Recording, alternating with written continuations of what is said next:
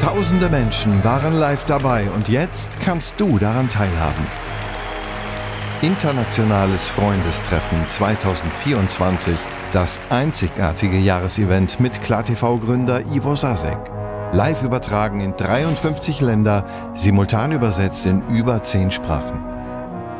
Ivo Sasek ist als Prediger dafür bekannt, mit seinem biblisch fundierten Fachwissen religiöse und gesellschaftspolitische Weltanschauung umzukrempeln, mit dem Ziel, unser volles Potenzial als weltweiter Menschheitsorganismus soll entfesselt werden. Nicht bloß, wir sind alle eine Familie. Nein, wir sind weit, weit mehr. Wir sind alle ein Organismus. Das ist viel verbindlicher. Diese Erkenntnis ist der Schlüssel darum zur Gesamtwiederherstellung hier unten. Darum liebe ich alle Menschen. Ich kann keinen hassen. Meine ärgsten Feinde liebe ich deshalb, weil ich weiß, wir, zuletzt müssen wir zusammen ans Ziel kommen. Ivo Sasek, seine Familie und die weltweit tätigen Mitarbeiterteams reden nicht nur über die dringend notwendigen Veränderungen in der Welt, sie gestalten diese neue Welt mit Kraft, Freude und Energie. Gespannt auf mehr? Dann nutze die Gelegenheit und vernetze dich heute noch mit Menschen aus deiner Region www.klartv/vernetzung. Ich kann euch so oder so raten, welchen Weg ihr immer geht. Tretet so oder so in eine Verbindlichkeit ein. Das ist der Weg. Ich bitte euch, sucht, wenn irgend möglich, ich sage jetzt mal unser Wissen, unsere Erfahrung auf, weil wir haben hier über 45 Jahre Tag und Nacht zehntausende Lektionen durchgegangen, dass du tausend Wege nicht gehen musst und die Essenz davon verstehen lernst. Bist für mich wie das schönste Lied. Ich bin verliebt in diese Melodie. Sie läuft in meinem Herzen auf und ab, wo immer ich bin. Die Kriege selber, die gerade geführt werden, sind Ablenkungsmanöver, um den viel größeren laufenden Krieg zu bedecken. Die Welt aus den Fugen gerät. Ein Glaube, der mich hält, selbst übers Wasser mit mir geht. Hoffnung für alle. Die WHO raus aus allen Ländern, Schluss aus mit diesen Clubs. Die sind saugefährlich. Schwab, Klaus, Geld, sei so nett. Du dachtest, du sei schlau und schubst den Great Reset. Doch great ist er nicht wirklich, er wurde schon durchschaut. Jetzt wird durch uns resettet und eine neue Welt gebaut. KlarTV präsentiert den Filmmitschnitt dieses unvergesslichen Tages. Bleibt dran! Jetzt kann das Freundestreffen beginnen.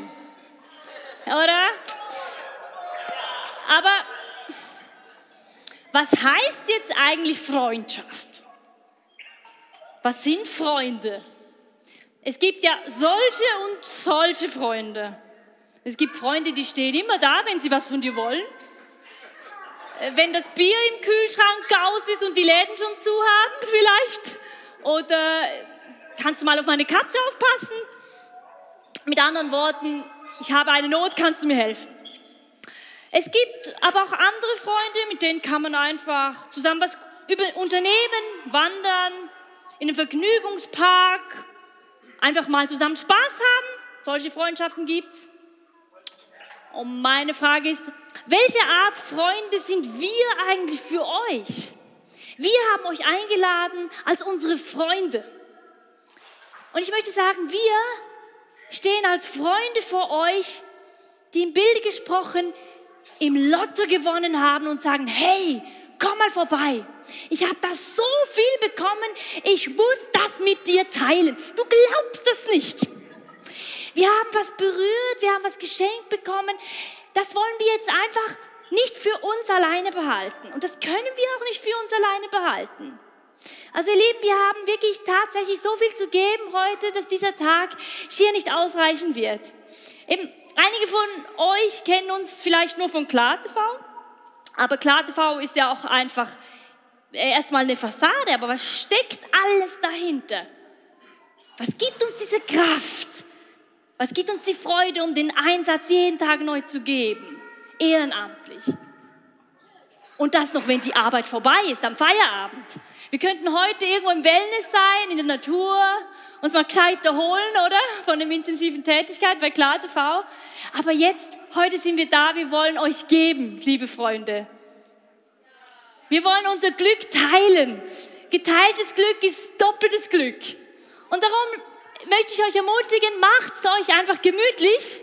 Schaltet ab, Handys aus, WhatsApp, Telegram, alles mal weg und verbringt den heutigen Tag mit uns. Seid ihr dabei?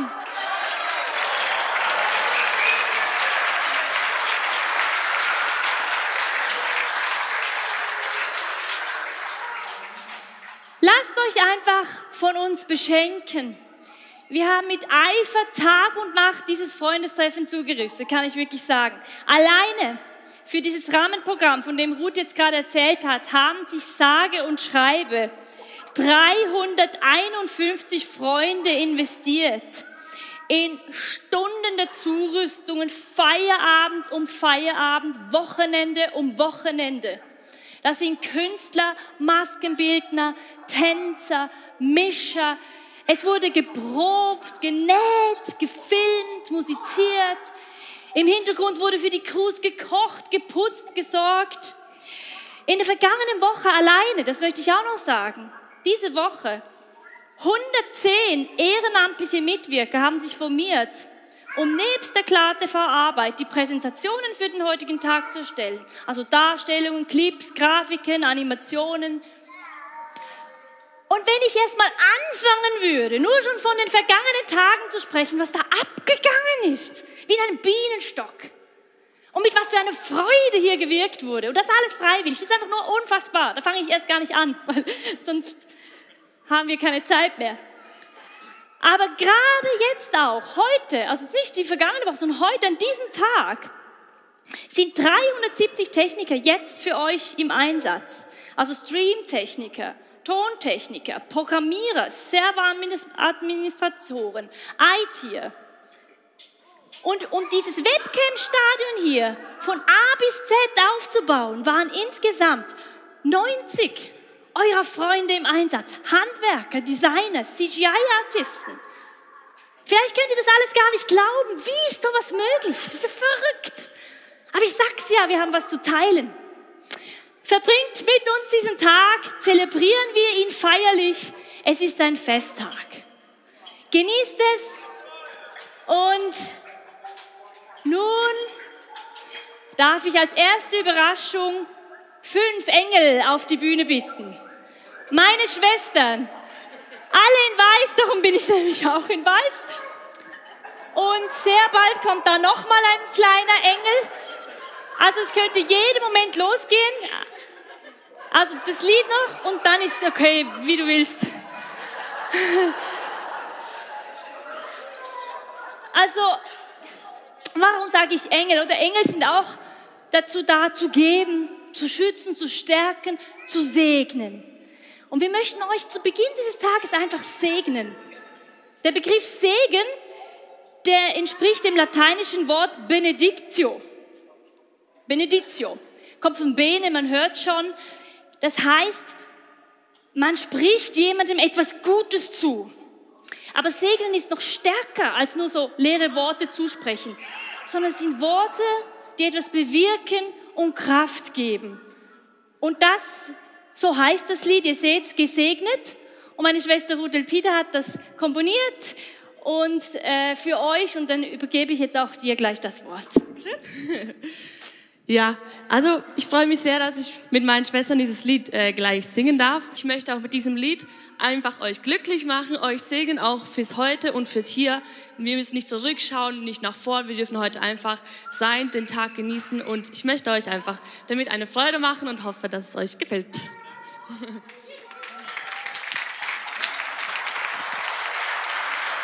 Seid ihr ready? Okay.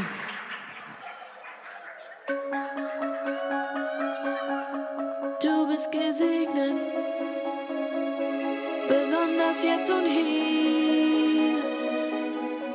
blick nicht zurück und frage dich, was ist da bloß passiert? Schau nicht zu weit nach vorn, das gibt viel zu viele Sorgen. Bleib ihm jetzt, bleib ihm hier, das jetzt kannst du tragen.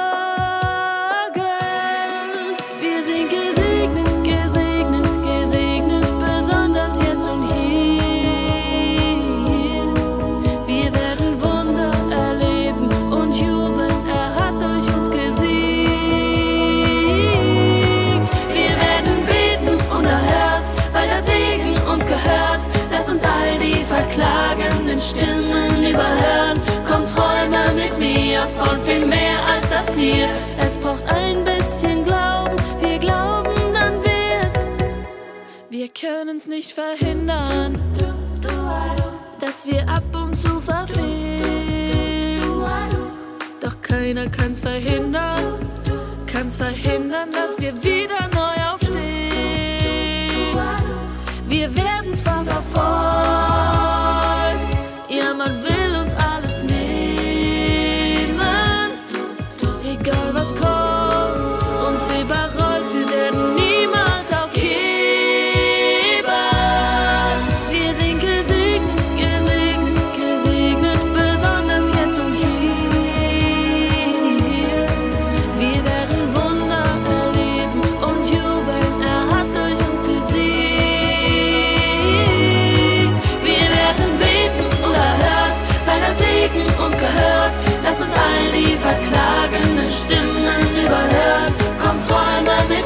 mit mir von viel mehr als das hier.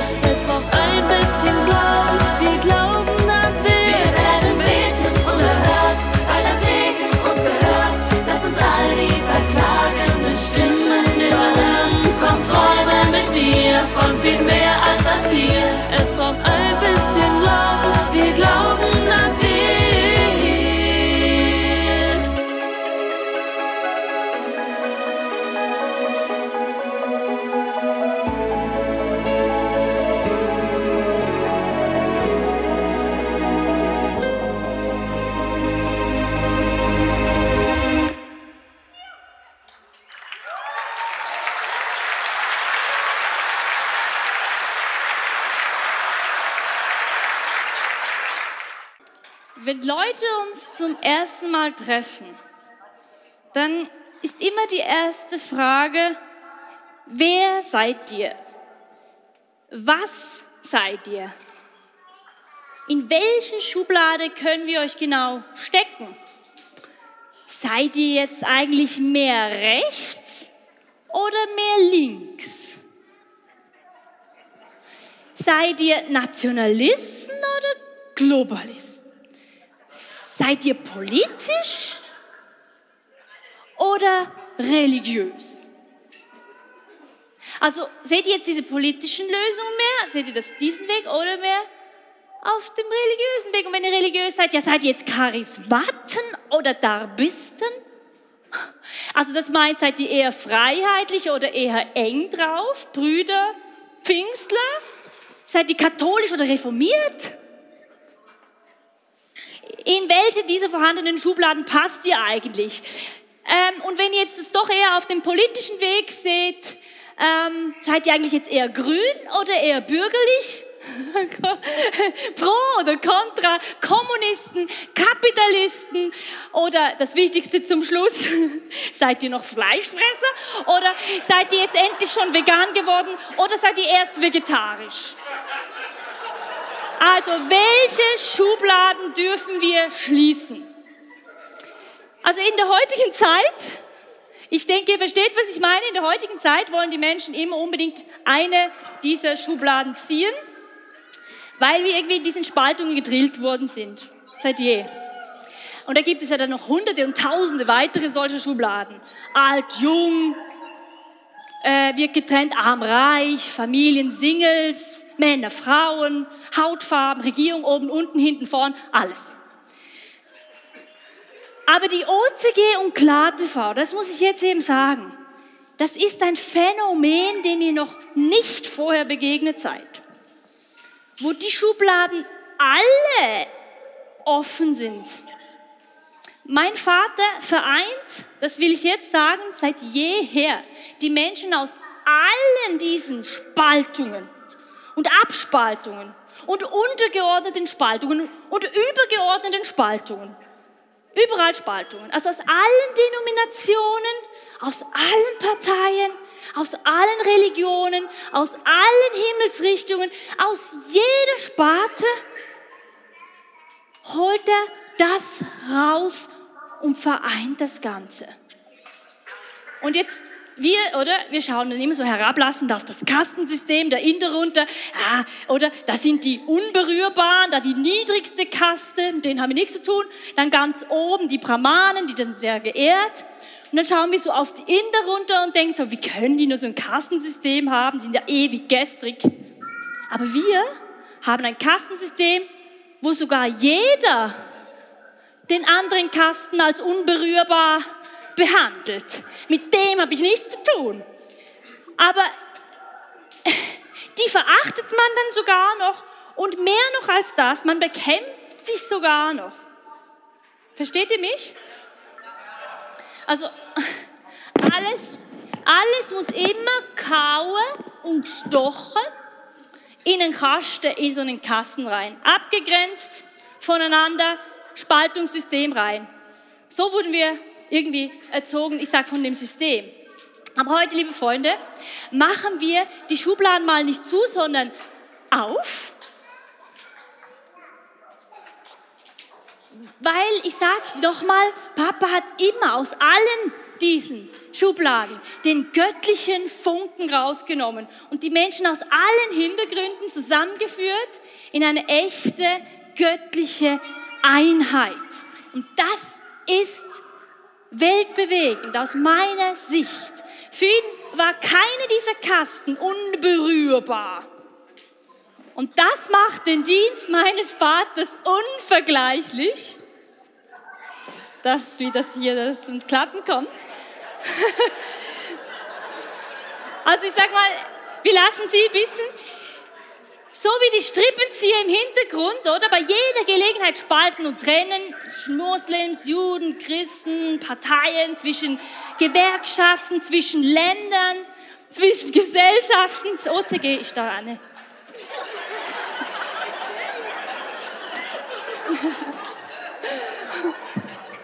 Oder ihr seht das Experiment, Papa verbindet das alles miteinander, will ich da mit diesem Bild sagen. Er bildet zwischen den extremen er, er verbindet zwischen den Gegensätzen. Es hat geklappt.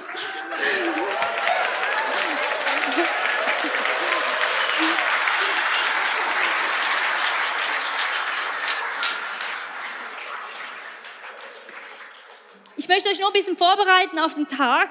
Ich sage auch, wir sind auch nicht eine Ökumene. Der Kasten passt auch nicht.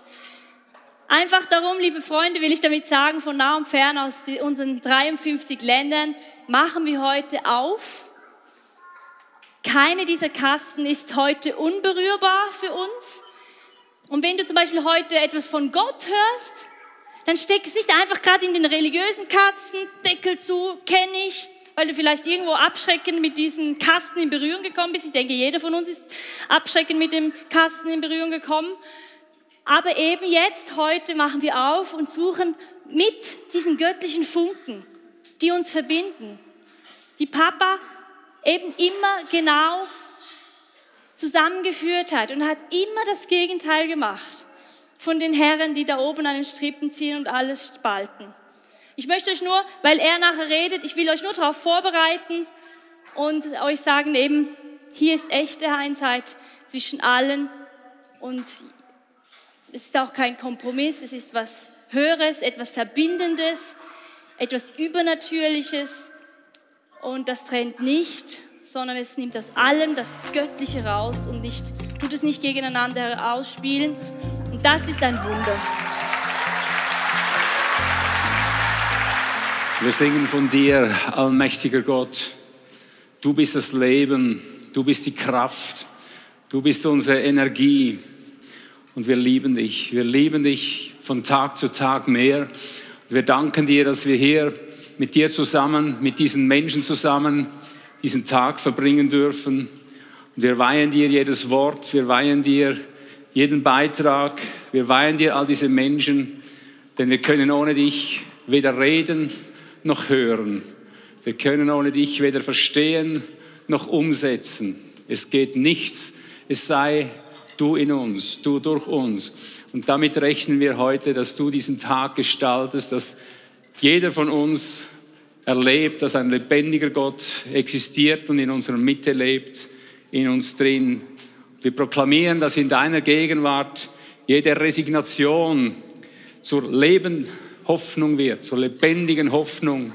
Jeder Unglauben zum Glauben Gottes im Namen Jesu.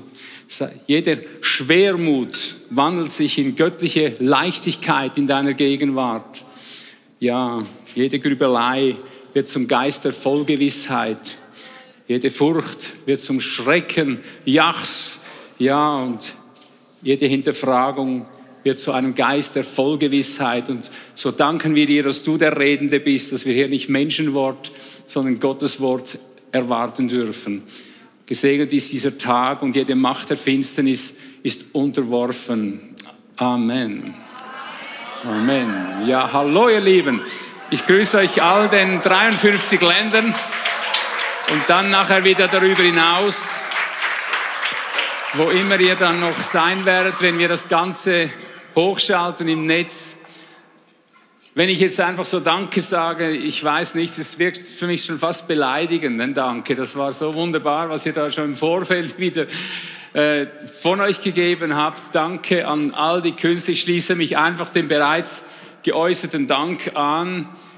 Man könnte den ganzen Tag nur danken bei so viel Investition, bei so viel Liebe. Und natürlich danke ich euch, unseren Freunden, dass ihr überhaupt diesen Tag mit uns verbringt, dass ihr euch die Zeit nimmt nehmt und nicht den ganzen Tag nur so durch die Straßen geht. Ja.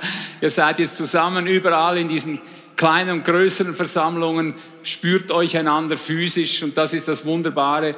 Wir haben in dieser Form viel mehr Zeit jetzt füreinander, viel mehr Berührung, als wir es früher hatten in den großen Hallen. Da ging ja alles kreuz und quer in den, wie ein Ameisenstaat. Hier hat man viel mehr Zeit füreinander. Das ist doch einfach wunderbar, ja. Ich danke ja besonders auch Lois, du hast das so krass äh, hingekriegt, das zu äußern, was in unserem Herzen drin ist.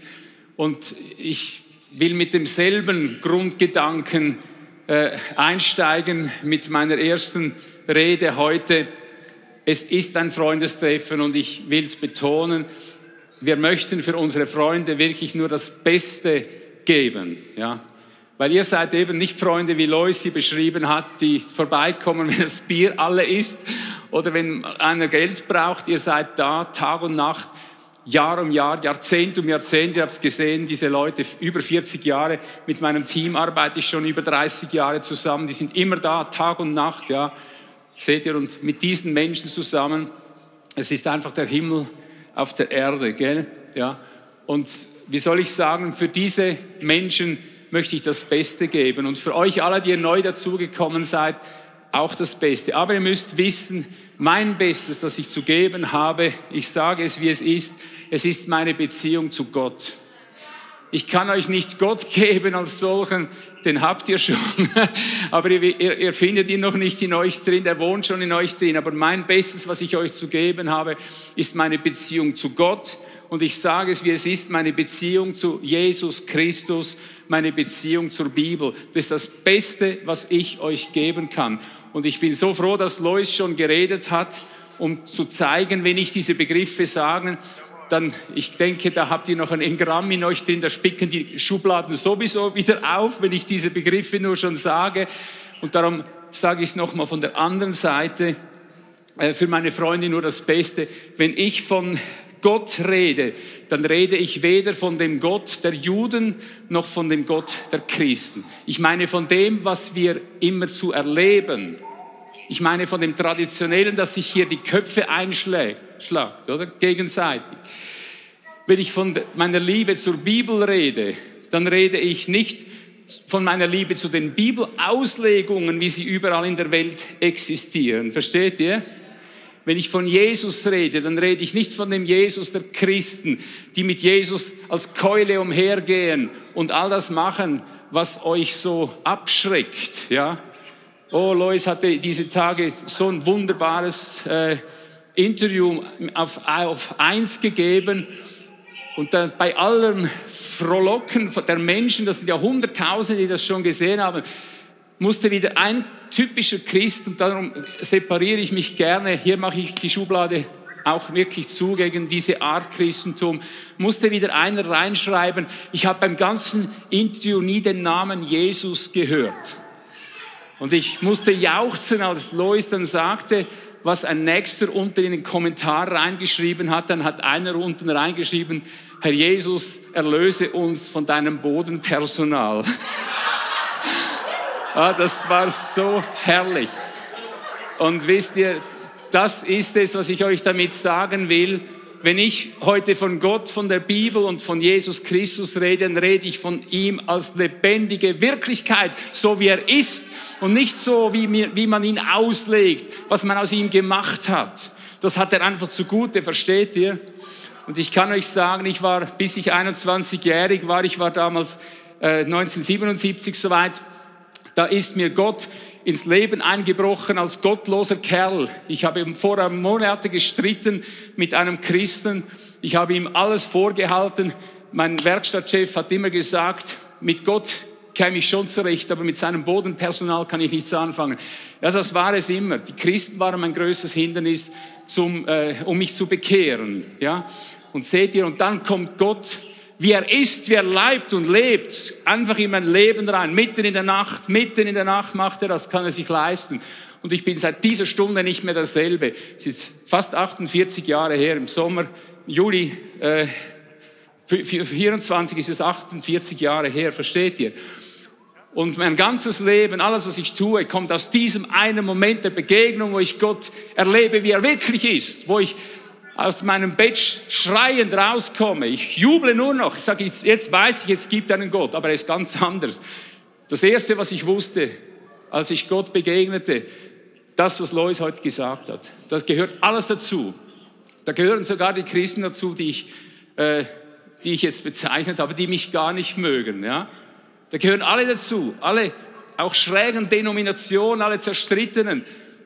Die umarmen wir alle. Aber ich möchte, ich möchte einfach sagen, ich identifiziere mich nicht mit dem. Und darum möchte ich, wenn ich von der Bibel rede, dass ich nicht, nicht jedes Mal so mache und sage, oh, es kommt er wieder.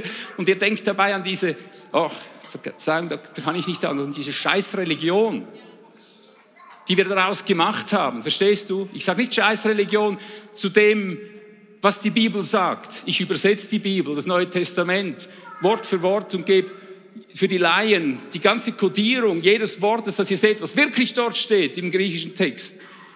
Also, Great Reset, gell, in geistlicher Hinsicht. Macht auf für das Neue, macht auf für das Wirkliche, denn ich bin kein Theoretiker. Ja, die Medien weltweit nennen mich einen Laienprediger. Ich nehme das sehr gerne hin weil ich möchte mich nicht identifizieren mit Theologen, die Gott gar nicht begegnet sind, sondern die ihre akribischen, die ihre Akrobatik machen und so die Menschen dann verführen.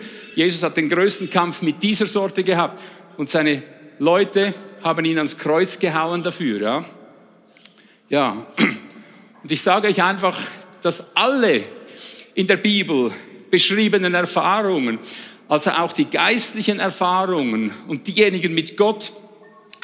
Alles, was dort steht, das ereignet sich als analoge Erfahrung, also artgleich in jedem einzelnen Menschen. Ja? Und diese Entsprechung, die lässt sich in jedem Bereich des menschlichen Wirkens und Mühens finden.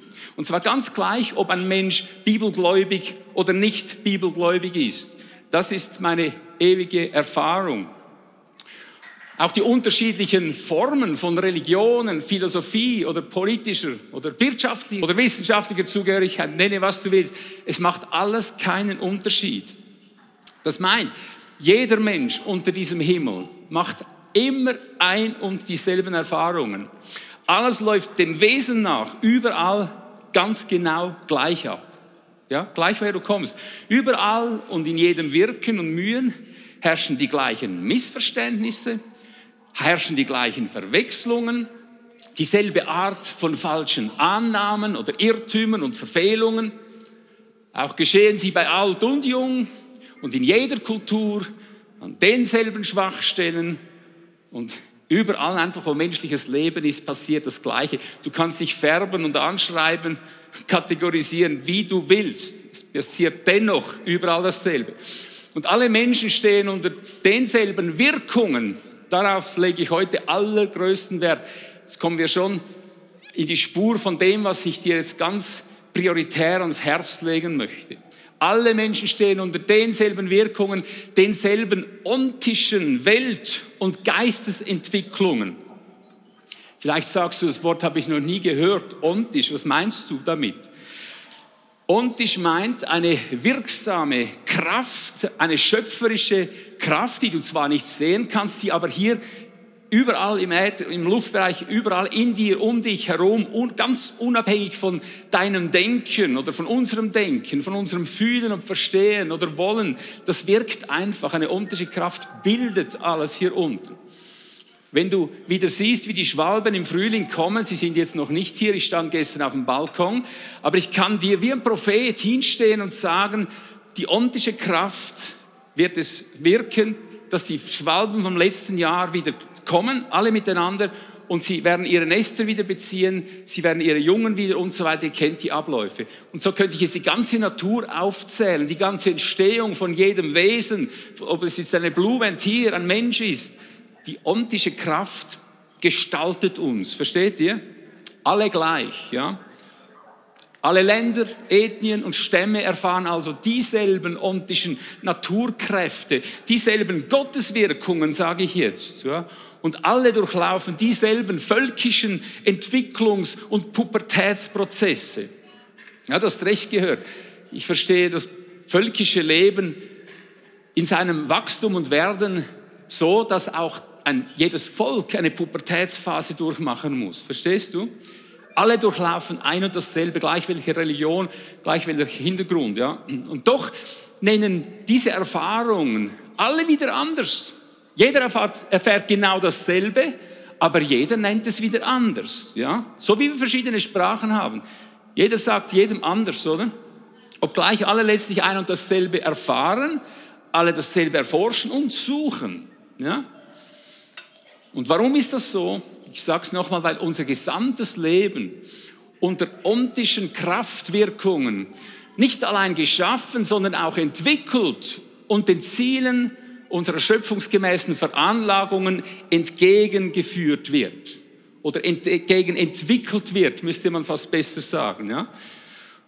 Und seht ihr, die Bibel, die fasst den gesamten Sinn und Zweck aller Schöpfungen Gottes mit ihren Entwicklungsprozessen in nur einem einzigen Satz zusammen. Das ist auch so was, was ich so ungemein liebe an der Bibel. Du wirst sehen, du, du findest keine kürzere Definition. In nur neun Worten schafft es die Bibel, die gesamte Weltgeschichte zusammenzufassen. Aber ich, mache jetzt zuerst die längere Version in einem Vers nur. Les mit mir Kolosser 1,16. Ja? Da wird von ihm geredet, von Gott, der, wie die Bibel bezeugt, durch Christus diese Welt geschaffen hat. Und dann heißt es, denn in ihm ist alles in den Himmeln und auf der Erde geschaffen worden, die sichtbaren und die unsichtbaren, es seien Throne oder Herrschaften oder Gewalten oder Mächte. Und jetzt kommt der Satz in neun Worten. Ach, jetzt fasst er das noch mal kurz zusammen. Alles ist durch ihn und hinein in ihn geschaffen. Siehst du, neun, neun Worte. Das ist die Zielgebung aller Schöpfung. Alles ist durch ihn geschaffen. Eine andere Stelle sagt noch wörtlich aus ihm heraus, durch ihn, aber hinein in ihn geschaffen. Das ist die Zielgebung. So wie jeder Same eine Zielgebung hat und du hast beim Samen irgendwann die Vollgestalt des Baumes, des Menschen, des Tieres, so hat die ganze Schöpfung eine Zielgebung, die ist Gott selber. Von da, wo es ausgeht, da geht es wieder hin. Die Vollgestalt Gottes und über diese Dinge reden wir heute den ganzen Tag. Seht ihr? Ja, hinein in ihn. Das ist die ontische Wirkkraft, die dafür sorgt, dass das auch geschieht. Ja? Und so wie du keinen, keiner Pflanze, keinem Tier oder keinem Menschen auch nur eine Zelle mithelfen kannst, dass sich das gestaltet, dass sich das ja, formatiert mit Seele und Geist und allem zusammen, so kannst du auch der Weltschöpfung nicht nachhelfen in diesem Sinne. Dafür ist eben die omtische Kraft da. Ja, und aus diesem Grund machen wir nun eben alle ein und dieselben Erfahrungen auf allen Gebieten des Lebens, ganz gleich, wer wir sind. Ja. Wir alle sind omtisch an denselben Ursprung, an denselben Weg und an dasselbe Ziel gebunden. Ja. Ganz egal, wer wir sind. Wir werden ontisch an die göttlich vorgegebenen Gesetzmäßigkeiten, Ordnungen und Prinzipien angepasst, heißt das. Ja. Und so wie jeder Körper von euch sich bislang genau entsprechend dem vorgegebenen Programm seines Samens herangebildet hat, so entwickelt sich dieselbe ontische Wirklichkeit, ja, so entwickelt sich auch die gesamte Menschheit hinein in ihr vorgegebenes Gesamtziel. So ist das. Ja. Und dies tut sie nicht nur für uns und letztlich unausweichlich und über alle Zeiten hinweg, sie tut es konsequent. Sie tut es wirklich konsequent. Sie tut es an, allen und, an allem und jedem. Ja. Und diese an uns wirkende ontische Kraft tut dies auch noch in allweiser, in allmächtiger und allliebender Art. Ich sage nur, gepriesen sei Gott dafür. Ja? Gepriesen sei Gott dafür, dass das existiert. Ja? Was nun die schöpfungsgemäßen Wechselwirkungen in unserem Zusammenleben und Zusammenwirken betrifft, gibt es für uns allerdings noch einige sehr entwicklungsbedürftige und auch entwicklungsfähige Weltbilder. Versteht ihr? Unser Zusammenleben hat mit Wechselwirkungen zu tun. Alles, was wir tun, ist von Wirkungen begleitet. Alles, was wir tun, ist durch Wirkungen veranlasst und alles, was wir tun, wirkt etwas. Ob wir nun reden oder denken oder fühlen, alles besteht aus Wirkungen und es gibt überall gegenseitige Wirkungen. Ich nenne sie Wechselwirkungen. Und bevor wir als Menschheit nicht verstanden haben, wer wir genau sind, werden wir uns ständig in diesen Wirkungen aufwühlen wie das tosende Meer. Und jetzt arbeiten wir ein bisschen an diesem Bild, nicht wahr? Darum sind wir hier. Ja? Und ich sage jetzt, wie es ist. Es ist ja wunderschön, dass die Zeit gekommen ist, wo man da und dort hört, wir alle sind eine große Familie. Das klingt toll, das stimmt auch, ich widerspreche dem nicht, aber ich würde sagen, das ist eine Vorhofsübersetzung. Wenn das jetzt in der Bibel stehen würde, würde ich sagen, das ist eine Vorhofsübersetzung der, der Urtext sagt mehr. Als ganze Menschheit sind wir nicht bloß eine Familie, wir sind auch nicht bloß ein Team. Ja, auch so wird heute versucht man die Menschheit darzustellen als Team, sind wir auch, aber nicht bloß. Wir sind auch nicht bloß eine Rasse, wir sind auch nicht bloß gleicher Gene im Sinne von, wir sind ja alle gleich. Was sind wir denn? Fragst du jetzt. Ich sag dir, was wir sind. Als ganze Menschheit sind wir ein lebendiger Organismus.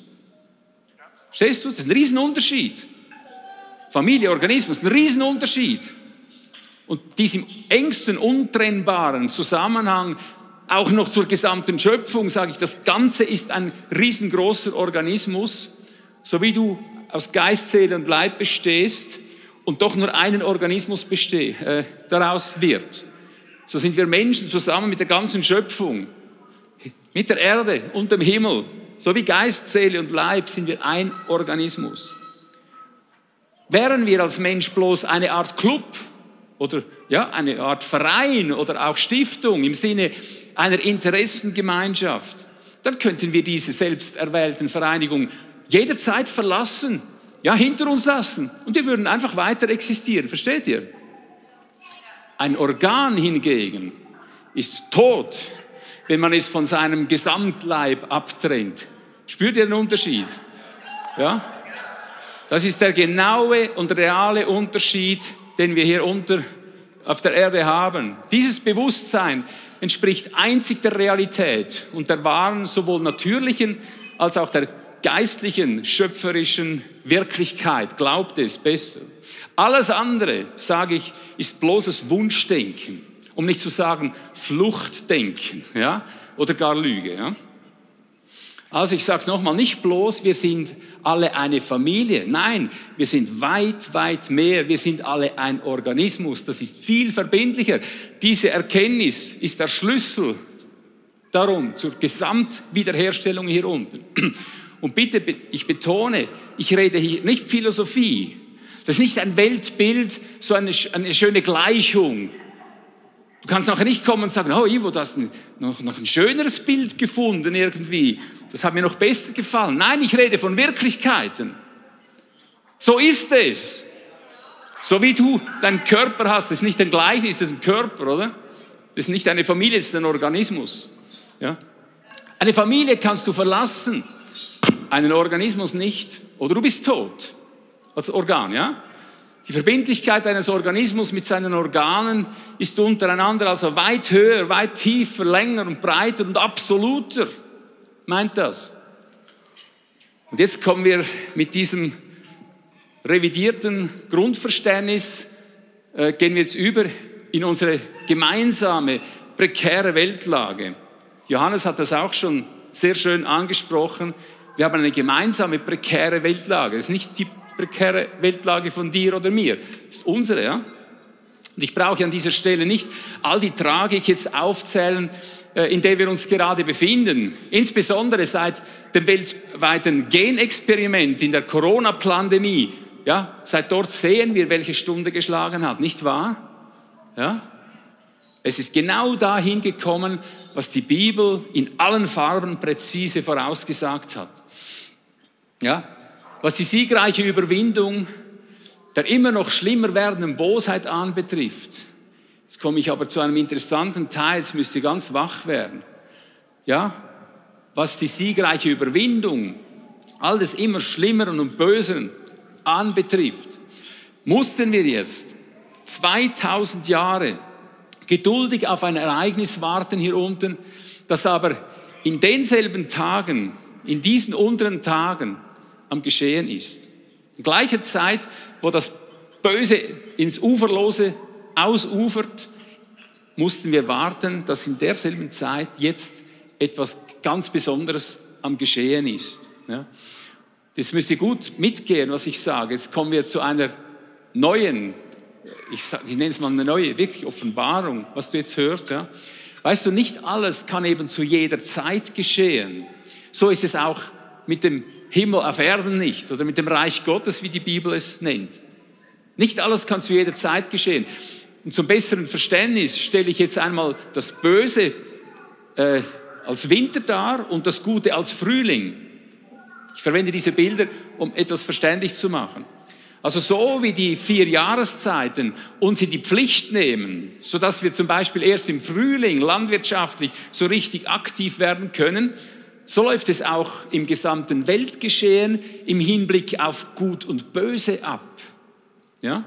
Und so wie jedes Geschehen unter diesem Himmel seit jeher seine besondere Zeit und Ordnung, also seine Saison hat, wie wir so sagen, so hat auch das Gute seine Zeit, um über das Böse zu triumphieren. Als Saison, versteht ihr? Weltweit. Und die Möglichkeit eines Totalsieges über das Böse, über das absolut Schlechte und Sündhafte, wie es die Bibel nennt, ja, hat genauso seine Saison. Und ich sage, du hast richtig gehört jetzt, man kann das Böse nicht jederzeit überwinden, wie man gerade will. Das merkst du sogar im Kleinen, wenn jemand sich vergeht und Dinge tut, in Süchte reingelangt, da kann er nicht einfach, wie, wie er gerade will. Das hat alles dann seine Zeit, seine Abläufe. Ja. Also so wie man die Kälte des Winters nicht beliebig überwinden kann, ich rede jetzt vom großen, ganzen Winter, ja, so wie man den Winter überstehen muss, indem man notdürftig künstliches Feuer anlegt, seine Wohnung heizt, warme Kleider anzieht und so weiter, so mussten wir nun die letzten Jahrhunderte oder Jahrtausende mittlerweile jene prophezeite eingebrochene Nacht überwinden, in der niemand wirken kann. Jesus hat das in Johannes 9, Vers 4 kurz vor seinem Abschied mit diesen Worten gesagt, es kommt die Nacht, da niemand wirken kann. Aber zu gleicher Zeit, als Jesus dieses Wort sprach, sprach er allerdings noch das andere Wort aus, von dem wir heute reden. Und ich sage vorweg, mögen unsere Herzen heute über diesem Wort mit aller nur denkbaren Freude und Hoffnung, mit Friedensruhe und Kraft erfüllt werden. Nahen wir uns also diesem Wort. Es steht geschrieben in 2. Thessalonicher 2, 1 bis 9. Ist ein bisschen langer Text.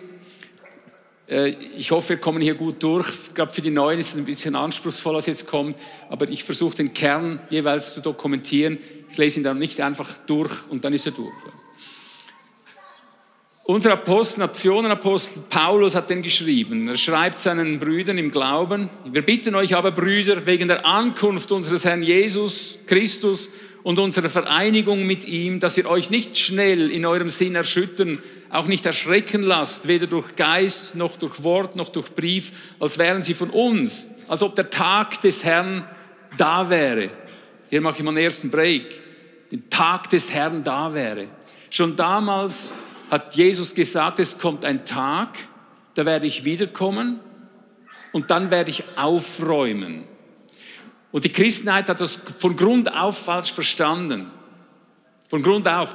Ich habe ein ganzes Konzil darüber gehalten. Ihr könnt es finden, wenn ihr euch bei euren äh, Gastgebern erkundigt. Ich habe kürzlich eine Rede auf KlaTV äh, gehalten, die wird heute noch eingeblendet hier, wo ich einmal ein ganzes Konzil international gehalten habe, um zu zeigen, was wirklich in der Bibel steht. Wenn wir hier lesen, was die Ankunft unseres Herrn Jesus Christus betrifft, steht dort Anwesenheit. Die Anwesenheit unseres Herrn Jesus Christus. Jesus ist immer schon anwesend, seit 2000 Jahren. Ja? Und er sagt, das muss sich jetzt entwickeln in der Bibel, in der wirklichen Urtextschrift. Muss sich dieser Tag heranbilden, er muss wachsen. Und dieser Tag ist ein Begriff im, im, ganzen Neuen Testament, der Tag des Herrn. Das meint, das ist der Tag, wo mit dem Bösen aufgeräumt wird. Und jetzt tröstet er es hier, weil die Christen dachten schon, oder die Juden dachten schon, wenn unser Erlöser kommt, macht er ratzfatz, das sind, macht er alle platt, er schlägt alle und dann ist er erledigt, oder? Und dann kommt Jesus, die töten ihn, weil es nicht dieser, dieser äh, brachiale Gewaltherrscher, der alle totschlägt, ist ein sanftes Menschlein. Ihr kennt die Geschichte, ja. Und jetzt aber als nächstes stolpern die Christen über dasselbe Problem. Sie denken, warum ist es der Tag, wann kommt der Tag, wann kommt der Jesus und macht das für uns gut? Ja? Die Bibel hat nirgends gesagt, dass Jesus im Alleingang kommt. Er kommt durch uns, durch dich und mich. Aber jetzt Vers 3 weiter, ich habe den Einschub gemacht für die Neuen, dass ihr nicht überfordert seid mit dem Text, wenn ich den nur so durchrase. Vers 3, dass niemand von euch auf irgendeine Weise verführt werde, ja? denn dieser Tag, der kommt nicht, und jetzt pass auf, jetzt beginne ontisch, in ontischen Zeitaltern zu denken. Ja. Ontisch meint, ist ein Tag nicht so wie der heute, der 4. Mai oder so. Das meint, ein Tag ist in der Bibel bezeichnet ein, ein Zeitalter. Ja. Denn dieser Tag kommt nicht, es sei denn, dass zuerst der Abfall gekommen und der Mensch der Gesetzlosigkeit geoffenbart worden ist, der Sohn des Verderbens. Wieder ein kleiner Einschub, eine kleine Klammer. Sohn des Verderbens, Mensch der Gesetzlosigkeit, das bezeichnet ein, eine, nicht eine Einzelperson nur. Das bezeichnet zum Beispiel die ganze satanistische Freimaurerei. Das bezeichnet den ganzen Nihilismus. Das bezeichnet all das, was wir in, in, mit KlaTV ständig dokumentieren der Nihilismus, wo alles aufgelöst wird, was gehabt ist. Das ist der Mensch der Gesetzlosigkeit, das ist eine Menschensorte, ein Zeitalter. Also der Tag kommt nicht, es muss zuerst ein Mensch der Gesetzlosigkeit geoffenbart werden, der Sohn des Verderbers, der sich dann widersetzt und sich überhebt über alles, was Gott heißt oder Gegenstand der Verehrung ist, sodass er sich in den Tempel Gottes setzt, sich ausweist, dass er Gott sei. Erinnert ihr euch nicht, schreibt Paulus weiter, dass ich dies euch sagte, als ich noch bei euch war? Und jetzt wisst ihr, was zurückhält, damit er zu seiner Zeit geoffenbart wird. Und dann erwähnt er, kommt er eigentlich zu sprechen darauf, dass das Ganze organisch heranwächst. Ja, wie, wie eine Pflanze. Denn schon, Vers 7, ist das Geheimnis der Gesetzlosigkeit wirksam. Nur offenbart es sich nicht, bis der, welcher jetzt zurückhält, aus dem Weg ist. Und dann wird der Gesetzlose geoffenbart werden. Denn der Herr Jesus beseitigen wird durch den Hauch seines Mundes und vernichten durch die Erscheinung, die Auferscheinung seiner Anwesenheit. Ihn, dessen Ankunft gemäß der Wirksamkeit des Satans erfolgt, mit jeder Machttat und mit Zeichen und Wundern der Lüge. Ich könnte hier alles kreuz und quer noch dokumentieren, aber ich muss halt diesen Grundtext einmal stellen, damit wir eine Grundlage haben von dem, was wir heute reden. Wir reden von einem Tag der Macht über das Böse, von einem Tag der Entsperrung, wenn du diesen heutigen äh, Text oder das, was ich mit dir teile, was ich rede, überschreiben willst, Tag der Entsperrung. Also sind Hindernisse da, der kann nicht einfach da sein, bevor nicht das äh, aufschießt, ja, was hier beschrieben ist, das Böse in seiner letzten Gestalt. genauso wie Jesus es in einem Gleichnis gesagt hat, ist es jetzt gekommen. Und jetzt ziehen wir noch ein Gleichnis von Jesus dazu, wo er vom Unkraut im Acker redet, um das nötige Verständnis als Grundlage zu erlangen. Ja, die Grundlage, was die Ontik gerade jetzt mit uns tut. Ja? Beachtet genau, was hier geschrieben steht. Matthäus 13, 24 und fortfolgende. Ein anderes Gleichnis legte Jesus ihnen vor und sprach, mit der Königsherrschaft der Himmel das könntest du jetzt wieder den Tag nennen, den Tag des Herrn oder den Tag, wo das, wo das Gute, wenn wir plastisch so reden, neutrisch reden, wenn das Gute das Böse wirklich überwindet im großen Stil. Ja. Also, mit der Königsherrschaft der Himmel ist es wie mit einem Menschen, der guten Samen auf seinen Acker säte. Während aber die Menschen schliefen, kam sein Feind und säte Unkraut mitten unter den Weizen und ging weg. Als aber die Saat aufsproste und Frucht brachte, da erschien auch das Unkraut. Es kamen aber die Knechte des Hausherrn hinzu und sprachen zu ihm, Herr, hast du nicht guten Samen auf deinen Acker gesät? Woher hat er denn jetzt Unkraut? Er aber sprach zu ihnen, ein feindseliger Mensch hat dies getan. Die Knechte aber sagten zu ihm, willst du denn, dass wir hingehen und es zusammenlesen? Er aber sprach, nein, Jetzt kommt der entscheidende Satz. Passt auf. Denkt in ontischen Zeitaltern. Sollen wir hingehen? Das Böse zusammenlesen? Nein. Warum nicht? Damit ihr nicht etwa beim Zusammenlesen des Unkrauts gleichzeitig mit ihm den Weizen ausreißt. Und jetzt kommt die Weisung. Lasst beides zusammen wachsen bis zur Ernte. Und zur Zeit der Ernte werde ich den Schnitten sagen, lest zuerst das Unkraut zusammen, bindet es in Bündel, um es zu verbrennen. Den Weizen aber sammelt in meine Scheune. Seht ihr, damit hat Jesus klipp und klar vorausgesagt, dass erst in der Vollendung der Zeitalter diese endgültige Überwindung des Bösen möglich sein wird. Ja? dass erst am Ende der Weltgeschichte, wenn das Übel vollständig ausgewachsen ist, eine völlige Trennung und Abrechnung ontisch vorgesehen ist.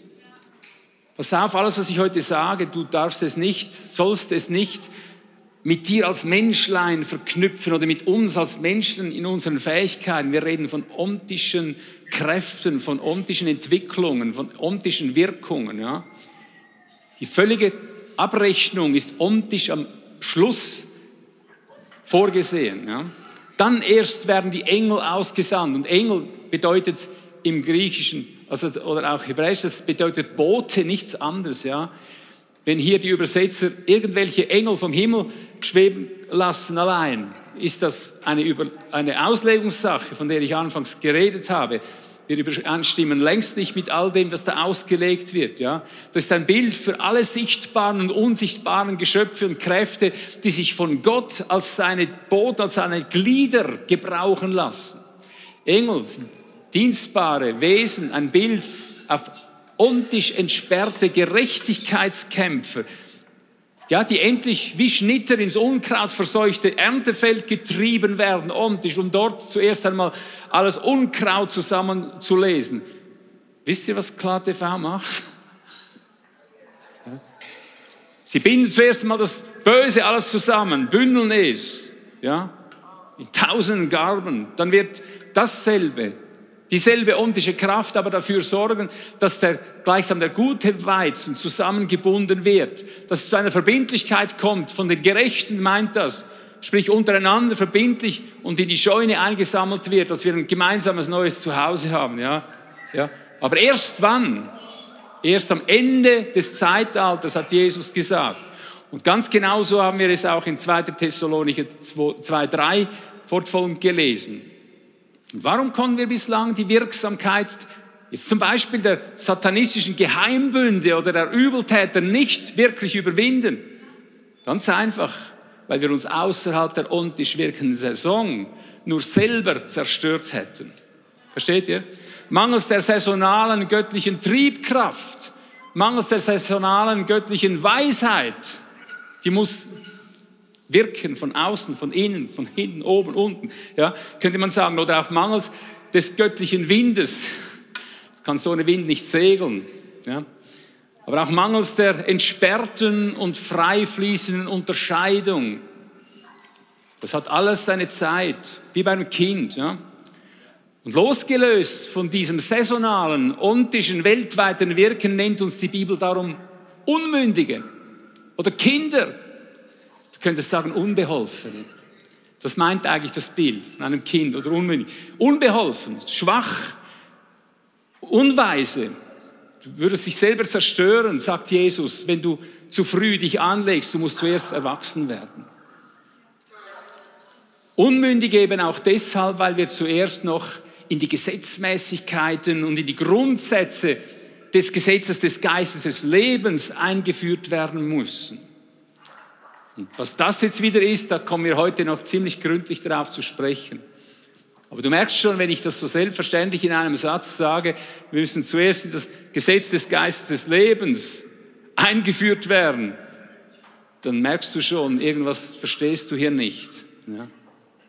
Aber wir verstehen was davon. Und heute rede ich zu dir, damit du mehr davon verstehst. Und wir werden es dir äh, beibringen, dass du das nicht nur verstehst, sondern leben, ausleben kannst. Ich muss das Ganze aber etwas langsam, systematisch angehen, damit ich vor allem auch die Neuen nicht gleich total überfordere. Das ist in sich vielleicht schon genug Überforderung. Also das göttliche Programm hat es so vorgesehen, dass beide Pflanzenarten, also dass sowohl das Böse als auch das Gute zuerst einen Vollwuchs erlangen muss. Der Endkampf kann mit anderen Worten gar nicht beginnen, bevor nicht beide bis ins Zeitalter ihrer vollen Größe herangewachsen sind. Und in meiner IVO-Übersetzung, das ist die interlineare Vollanalyse, von der ich geredet habe, wo ich das Neue Testament, Griechische, aus dem, äh, aus dem Heiligtumsperspektive übersetze,